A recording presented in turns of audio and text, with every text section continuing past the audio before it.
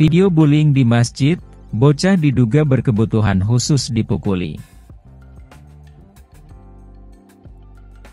Video kasus bullying di medsos kembali menarik perhatian masyarakat. Kali ini, viral video yang menampilkan kasus bullying yang terjadi di Balikpapan. Mirisnya, korban bullying dalam video yang diduga alami kebutuhan khusus. Hal ini diketahui karena korban tak berbicara saat diminta oleh pelaku.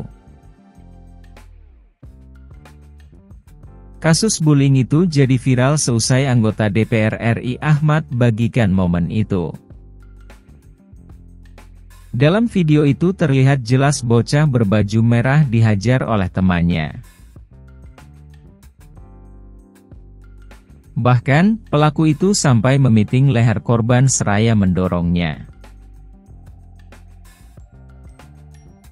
Ia pun menendang kepala korban saat terjatuh ke lantai. Bocah berbaju merah itu hanya bisa meringis sangat kesakitan.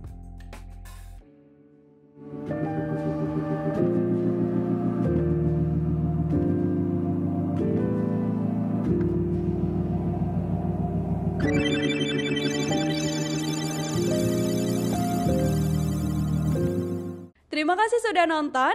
Jangan lupa like, subscribe, dan share ya.